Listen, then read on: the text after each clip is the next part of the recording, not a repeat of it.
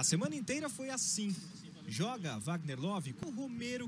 Nenhuma pista por enquanto. A gente precisa jogar, a gente jogou sábado, ganhamos, precisa jogar sábado e precisamos ganhar mais uma vez. E se precisa, dá um jeito. E a gente tem Wagner Love e a gente tem Romero. E não é à toa que a diretoria só fala em reforços para o ataque. Sem Sheik, que se despede no sábado, Tite sofre com poucas opções. A gente passa por um momento de reformulação. E nesse processo se envolve saída e chegada de atletas. É claro que a gente precisa de, de reforços para nos ajudar. E se for nesse intuito, é bem-vindo em qualquer clube e, e, não, não é diferente com a gente. Se for para nos ajudar, serão muito bem-vindos.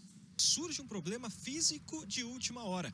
Christian, novo titular do meio de campo, sentiu o calcanhar direito, deixou o treinamento e pode não jogar. Se isso acontecer, um problema para o treinador, Tite terá que apostar num atleta que está de saída.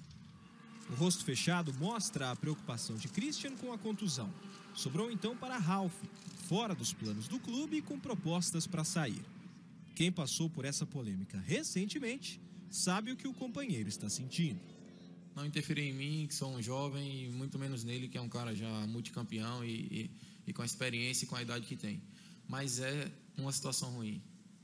É uma situação ruim você ter que falar sobre isso, porque 90% do que se fala é mentira. E isso é muito ruim. Você ter que responder sobre o que não existe, sobre especulação, sobre conversa. Um fala uma coisa, outro fala outra, e sempre você tem que vir aqui. Ah, não é isso, não é isso. É uma situação ruim, mas não atrapalha. Sobre isso, porque 90% do que se fala é mentira. E isso é muito ruim. Você ter que responder sobre o que não existe, sobre especulação, sobre conversa, um fala uma coisa, outro fala outra, e sempre você tem que vir aqui e, ah, não é isso, não é isso. É uma situação ruim, mas não atrapalha. Especulações à parte, o que é fato? O Corinthians não perde para o Internacional em São Paulo há seis anos. Tabu, mais homenagem para o ídolo que vai embora e no meio de tudo isso, um jogo grande de campeonato.